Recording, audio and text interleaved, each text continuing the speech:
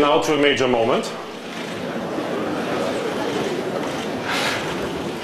I start the bidding here at $40 million. 41, 42, 43 already at 43 million.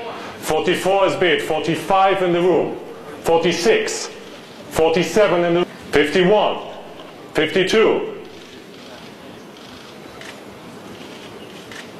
56 in the room.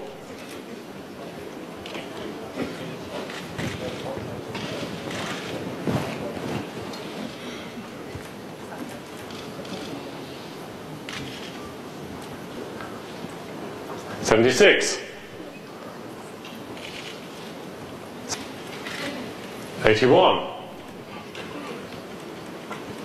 Eighty-one million. The bid is with Charlie at ninety-one.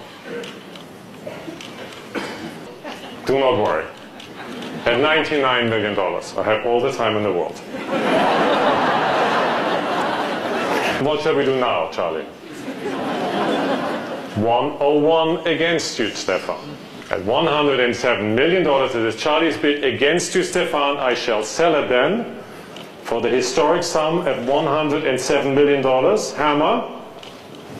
So now the world record for any work of art sold at auction is this painting, Edvard Munch's The Scream, and it made with buyer's premium $119,900,000. This is probably the greatest, most disseminated image I can think of in the world of, a, of an artwork. It is a universal image of anxiety, suffering, the response to the modern age. Throughout the 20th century, uh, events have occurred that have shown Munch in 1895 really presaged, uh, you know, all the turmoil and violence that would come people just respond so viscerally and personally uh, to this. The, the world uh, sometimes is too enormous, uh, too challenging at times. From the standpoint of the auction, it's the only one that could ever be sold. It's the only one of the four that's in private hands. Uh, it is also the only piece that is in the artist's original frame. There's a plaque at the bottom, which in his own handwriting uh, describes the moment when he conceived this piece. He was walking across the bridge. You see his friends ahead of him.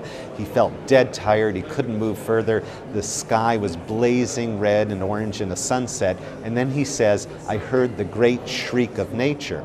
Everyone believes the figure is screaming, but really what's happening is the figure is reacting, recoiling uh, from the noise of the world. Uh, and also, amongst the four versions, this is the one with the greatest brilliance of color. Uh, these strong, vibrant primary colors and rich caking on of the pastel surface. Uh, each one has their unique characters.